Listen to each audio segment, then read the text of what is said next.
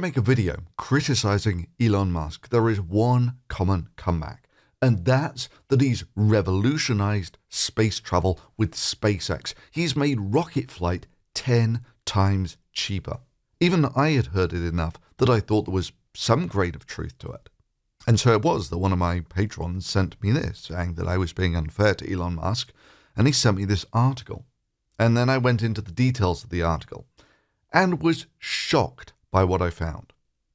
I mean, with hindsight, it's kind of obvious that his claims were bullshit. I mean, the whole thing sort of falls apart even using SpaceX's own numbers, where if they really made all of these savings by reusing their rockets, then why, according to SpaceX's own numbers, are the savings from reusing a rocket just slightly above 10%? And if you sit down and think about it for a second, it's like, well, yeah, rocket technology really hasn't changed a lot over the last 50 years. So how could he be doing it 10 times cheaper? And if you think that reusability is the killer here, well, I'm going to go into some details why it's not. but the scammy sense was already twitching when you find out that his own numbers say that you only get a saving of about 10% by reusing the craft.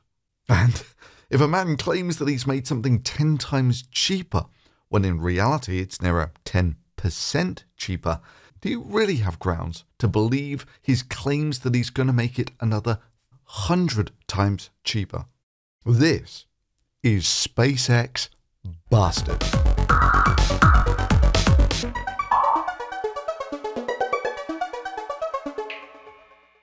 Now, it's a typical thing with Elon Musk that he will frequently claim that he's made things 10 or so times better, whereas in reality, there is no way that you could do such things without instantly collapsing the markets that you're in. Seriously, are there any markets where you can make something 10 times cheaper and the market wouldn't collapse? I mean, take for instance batteries.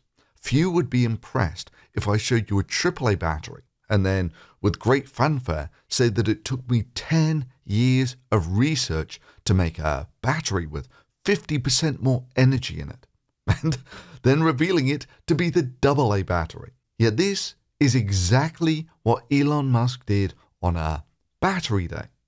Or Elon Musk's claims that he was digging tunnels a hundred times cheaper than other people and, and they can cost up to a billion dollars per mile. So clearly something needs to be done to revolutionize tunneling technology. Uh, we need to be able to build tunnels way faster uh, and for a hell of a lot less money. So normally the tunnels cost, like I said, on, uh, up to a billion dollars. So like a, a, a, discount tunnel would be sort of $200 million, but we're able to build this tunnel for about $10 million. So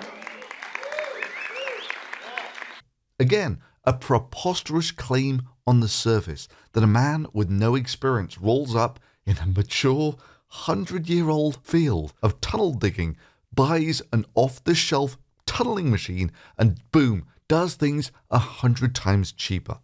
Yeah, turns out he wasn't digging his tunnels a hundred times cheaper. He was comparing his tunnel digging costs to the costs of a fully functional metro system. If you actually took the fair comparison, yeah, it turns out Elon Musk's costs for digging a tunnel were almost exactly the same as everyone else's. Then he claimed that his Las Vegas loop system was going to run at 150 miles per hour in these amazing pods. In reality, its max rated speed is less than half of that.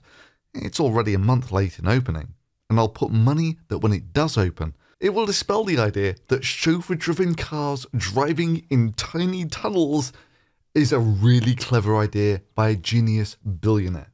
It will be expensive to run, it won't move many people, and will be a death trap compared to um, other contemporary forms of transport. But watch this space, it should be opening anytime now.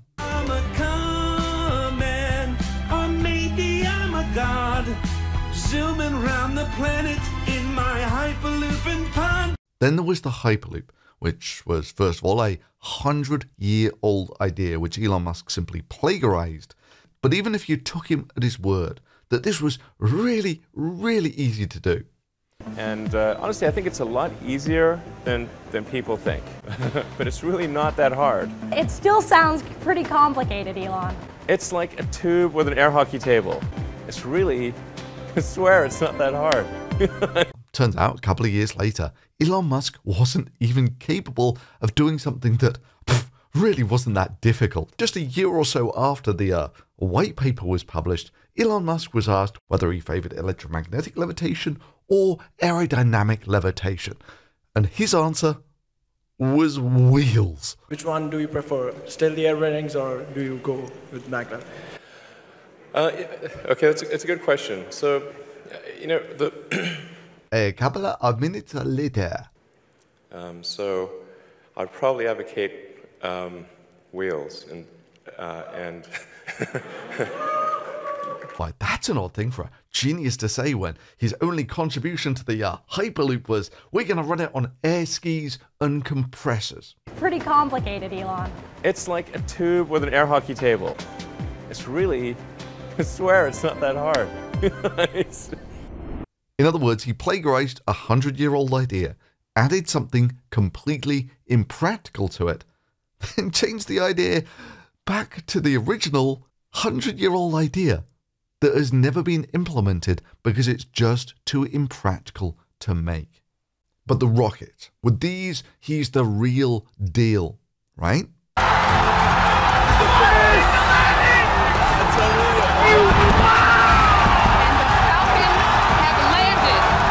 I mean, just look at this. He's made rockets 20 times cheaper than the space shuttle, right? I mean, just look at this. The space shuttle cost a whopping sixty odd thousand dollars per kilo to go to low Earth orbit, whereas SpaceX currently are advertising doing it for less than three thousand dollars. That's about twenty times cheaper. How could you possibly claim that this man has not revolutionized launch costs? Okay, let's take this one head on. It's all about the metrics of comparison. I mean, obviously, if you're going to compare your costs of just digging a tunnel to someone else's costs of completing a metro system, yeah, you're probably going to be cheaper. So, the way this space shuttle figure is arrived at is you take the entire cost of the space shuttle program, which is, of course, fairly easy to do. The program's finished, it's all documented how much it cost, how much it cost to design the machine, how much the flights cost, how much the launch facilities cost, and so forth. And you divide that through by the amount that it delivered to orbit, and boom, you have a price per kilogram to low Earth orbit. And then they're going to compare that to what Elon Musk currently quotes his price to orbit is. Well, okay, let's do maybe a fairer comparison. Sure, the program average was about $1.5 billion per shuttle launch, but you're comparing that to essentially the routine costs of launching a Falcon 9. Well, okay, let's do the fair comparison, which is the sort of routine launch costs. Well, by the end of its life, the routine launch of the shuttle cost about a third of what the program average was, which was about $450 million per launch. Okay, well, uh, it doesn't make that much difference. SpaceX is no longer 20 times cheaper, but 7 times cheaper. Well, not entirely the space shuttle was a human rated craft that could carry seven people to orbit. And you're comparing that to Elon Musk's price for just launching kilograms to orbit. But maybe let's do a, a more fair comparison to this big space shuttle number of $60,000 per kilogram to low Earth orbit. Well, maybe the fairest comparison to do would be to take a look at what NASA's contract with SpaceX was. This 2008 contract, by the way, is what saved SpaceX. Without this, even according to Elon Musk, they would have gone bust. This contract is also one of the reasons why people criticize Elon Musk of living on corporate welfare. For me, it's kind of a grey issue in that historically, NASA never really made any of their own craft. They always contracted this sort of thing out. So SpaceX is a bit of an outlier here in that they were a rocket manufacturer on the verge of bankruptcy. But again, you can take a look at the contract, how much it was for, and how much they were going to deliver to orbit. The contract was for some 12 launches, which were going to carry a minimum of 20 tons, that's 20,000 kilograms, of cargo to the International Space Station. The contract price was for about $1.6 billion.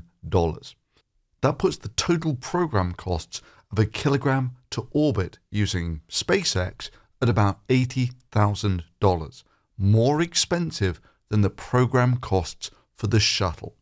And again, I've got to stress this. The shuttle was a human rated craft. The SpaceX launch launches being contracted for here are not. But I've got some good news for SpaceX here. Their Dragon capsule carries about six tons of supplies to the International Space Station, and that's per launch. So if they do 12 launches like that, then they will over deliver on the contract they have with NASA. That is, rather than delivering some 20 tons to the International Space Station, they're going to deliver some 70 tons of cargo to the International Space Station, which brings their program costs down lower than the Space Shuttle. But again, you got to bear in mind the Space Shuttle took people to the International Space Station, not just cargo. Uh, so SpaceX is not actually delivering any great savings here. And I'm not the first to notice this either. You know, NASA guys have actually said that when they decommissioned the shuttle and contracted things out with SpaceX, their launch costs actually went up. But, you know, stepping back, like I was saying, one of the most important things here is the space shuttle was a human rated vessel that could carry up to seven people. These SpaceX launches that they're comparing it to are not. The last generation of space shuttle carried about seven people for $450 million or so. So, ignoring the 20 odd tons of cargo it could also carry, just taking it as a shuttle for getting people from the ground to the space station, it's about $65 million per seat. Now, when the shuttle was decommissioned, they had to contract that out to Russia, who charged them more, about $80 million per seat to orbit. So, SpaceX must be doing this much cheaper, right? Well, they are doing it cheaper, but not crazy cheaper. It's more like 10% or something. And again, you've got to be a little careful in taking SpaceX's numbers too much on faith here. Now, something else that should uh, raise the eyebrow on the uh, bullshit alarm is when you take a look at some of Elon Musk's articles from about 10 years ago, where they were claiming that SpaceX was going to propulsively land and reuse every part of their rocket. And for those who think that reusing all parts of your rocket is always a good idea that will always save you money, then just riddle me this. Why did SpaceX abandon its plans to reuse the second stage of its rockets? But even back then, Elon Musk was saying how the actual cost of the rocket fuel is almost insignificant compared to the cost of the rocket where it's about some $200,000, $0.2 million for the fuel, and $60 million for his Falcon 9 rocket. And so he was saying, well, if I can reuse the rocket a thousand times, then the price of launching the rocket basically comes down to the price of the fuel, some $200,000. Well, yes, in Cloud Cuckoo Land.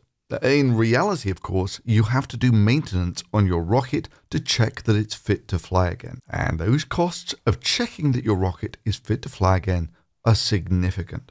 But if you think about it, he's kind of right in this Cloud Cuckoo Land calculation that if the lifetime of my rocket is two runs, then it halves the cost for a launch. And if I can run it three times, then it reduces the launch cost by a factor of three. And if I can reuse it 10 times, then it reduces the launch cost by a factor of 10 to some $6 million per launch, which SpaceX have claimed they would be able to do several times. Well, okay, let's take a look at how much SpaceX have reduced their launch costs over the period of about a decade. 2010, it was about $53 million. 2012, it had gone up some to 56 million. 2013, up a little more. 2014, up to 60 million now. And it's up to $62 million now. So basically, I'm not seeing any great reduction in the price per rocket when if they were getting real savings out of reusing the rockets, these prices should be crashing like crazy. But hey, let's take a look at this in more detail. If the first thing that you need to know about rockets is they are basically constant thrust machines. And the weight composition of rockets is also fairly consistent in that at takeoff they're about 90% by weight fuel, 10% is the actual weight of the rocket, which is the engines, the fuel tanks, that sort of thing, and about 1% is what's going to orbit. So when you first light them up, they barely provide enough thrust to lift themselves off the ground because they're so big and heavy and full of fuel.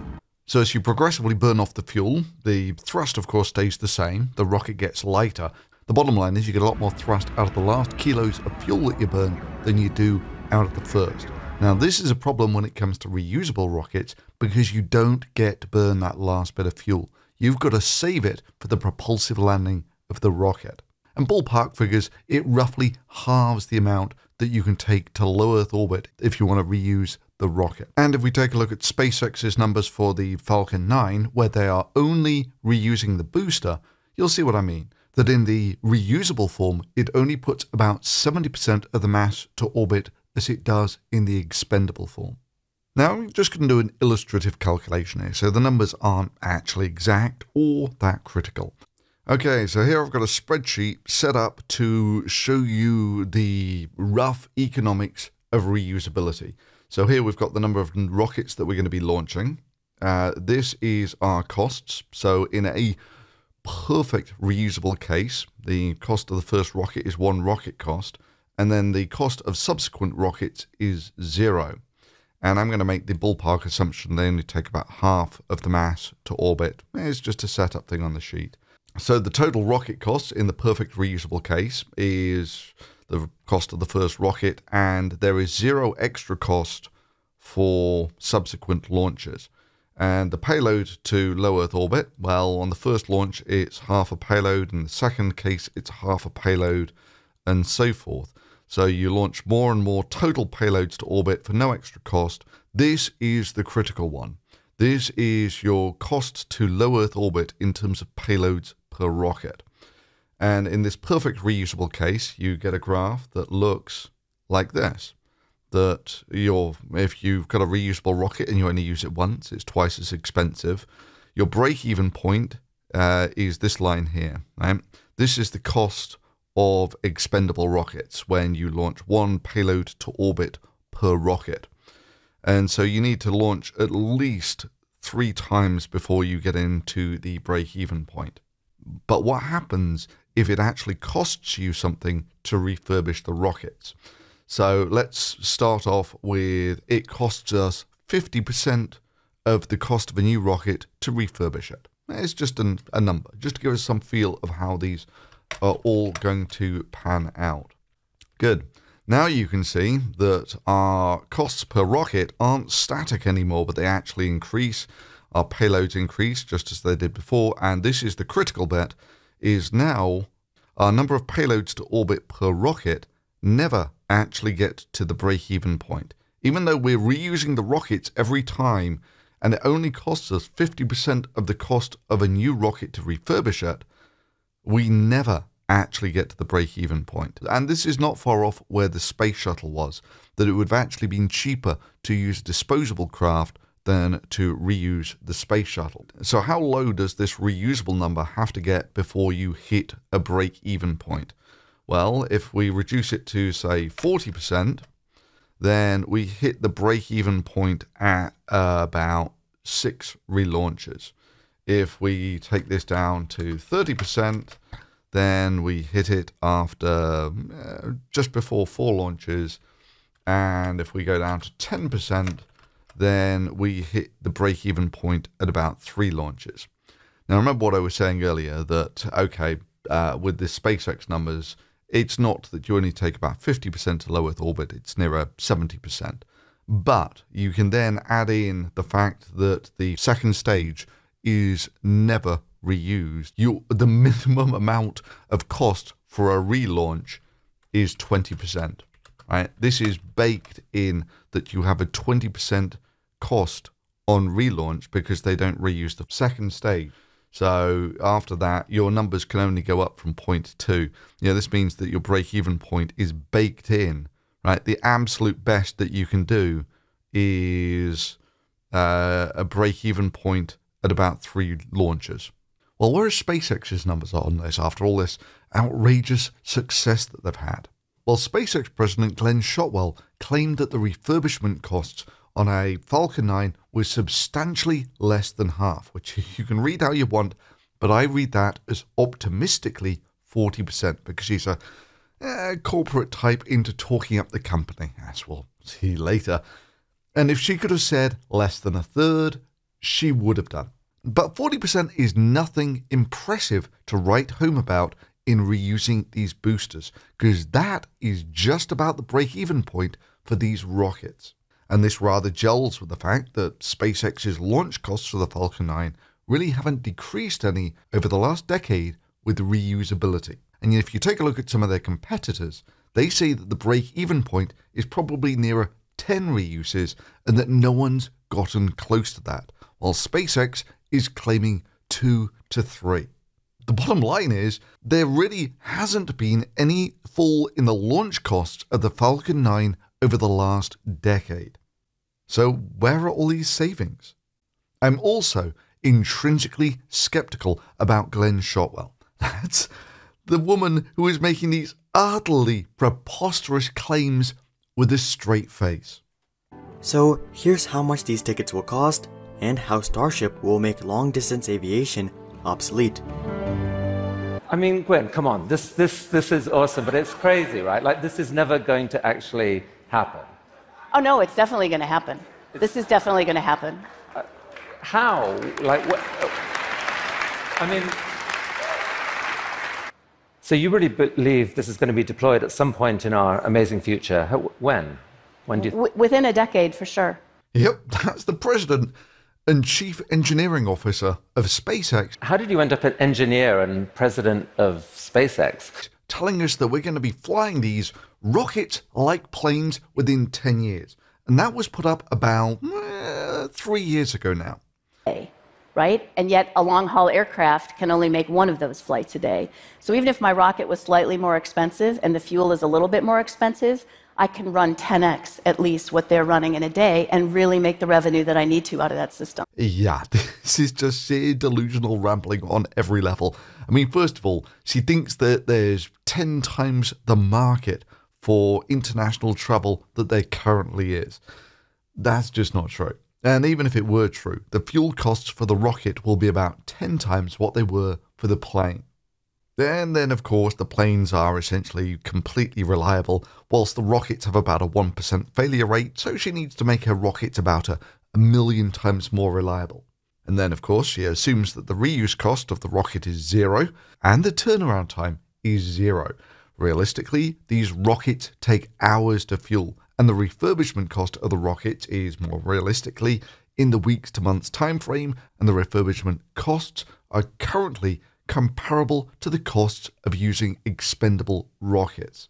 Basically, the fact that there's been no significant decrease in the cost of the Falcon 9 with reusability over the last decade shows that the Falcon 9 is in the same ballpark as the Space Shuttle, in that whilst it's true it's a reusable space vehicle, there are no significant cost savings by doing it.